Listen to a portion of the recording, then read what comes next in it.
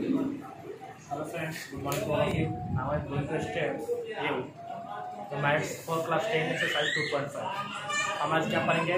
Math का exercise 2.5 पढ़ेंगे. Exercise 2.5 पढ़ने से पहले मैं आपको एक चीज़ बताना चाहता हूँ। इसके बारे में कुछ फार्मूले हैं जो आप उस फार्मूले को लिख लेना। उसके लिए मैं एक अलग वीडियो बना दूँगा। उसके बाद तुरंत हम एक्सरसाइज स्टार्ट करेंगे, ठीक है? तो सबसे पहले हम इस एक्सरसाइज के लिए देखते हैं कुछ फार्मूले हैं, वो बहुत इंपॉर्टेंट है आपका इस एक्सरसाइज के लिए और इससे क्वेश्चन भी आपका देता है, ठीक है? तो देखिए, सबसे पहले हम क्या करेंगे ना कि अगर आपका दिया हो इस टाइप का if alpha beta are the zero of E X मान लीजिए सबसे पहले हमने आपको क्या बताया कि A X square plus B X plus C ये क्या है? क्वाड्रेट्रिक है, ये क्या है? क्वाड्रेट्रिक है, ठीक है? ये क्या है आपका? क्वाड्रेट्रिक है। ठीक है?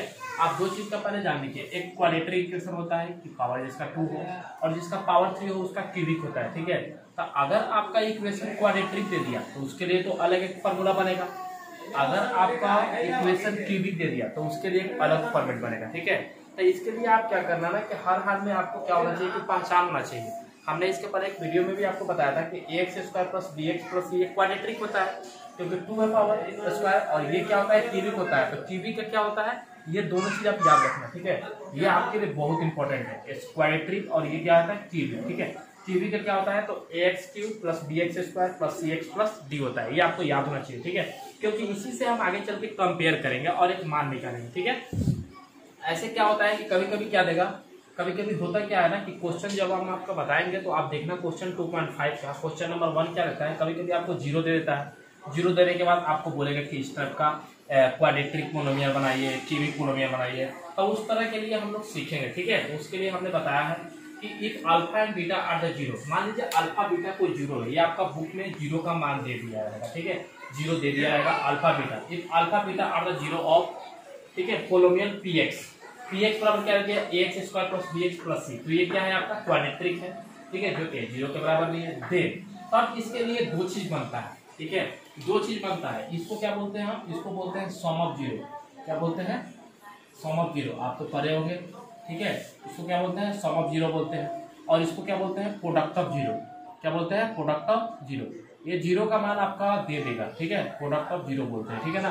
तो दो चीज़ हम देखें। एक देखें सम ऑफ़ ज़ीरो अगर अल्फ़ा बीटा हमने ज़ीरो कोई मान लिया, मान लीजिए अल्फ़ा बीटा को हमने क्या मान लिया? ज़ीरो मान लिया। अल्फ़ा बीटा ज़ीरो है।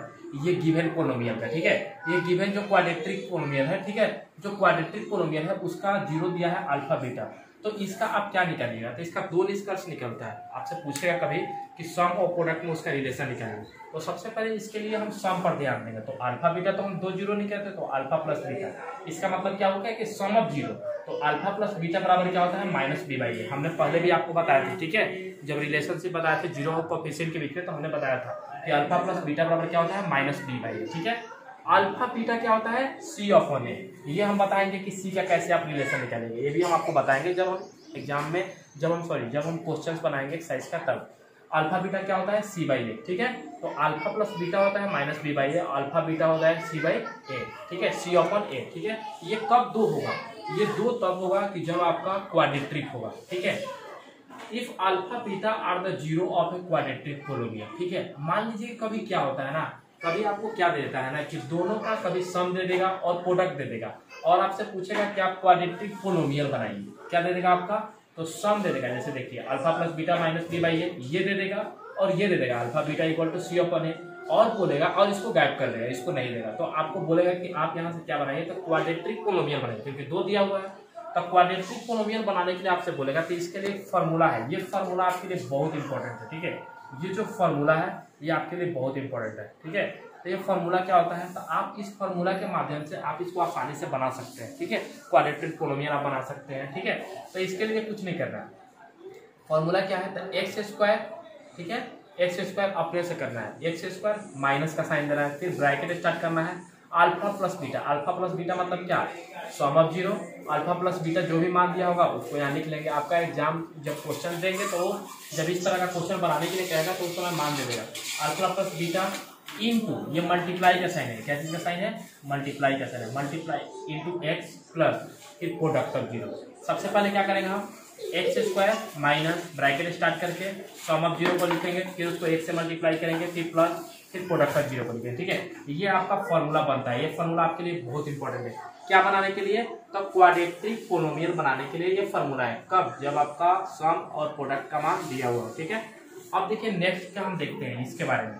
ये किसके लिए लागू होता है? ये क्वाड्रेटरी के लिए था, लेकिन ये देखते हैं। ये alpha beta are the zero of polynomial A X cube plus B X square plus C X plus D इसको क्या बोलते हैं हम लोग? तो इसको बोलते हैं क्यूबिक पोलोमियल क्या बोलते हैं?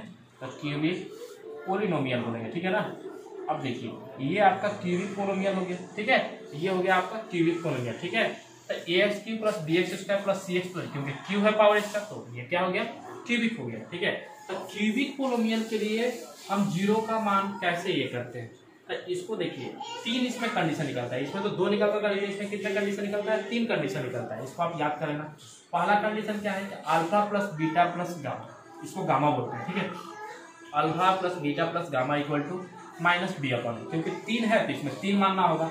हमने मान लिया कि अल्फ़ा बीटा और सॉरी यहाँ पर एक गामा भी देते हैं, ठीक है ना? ठीक है? Are the zero of P ठीक है?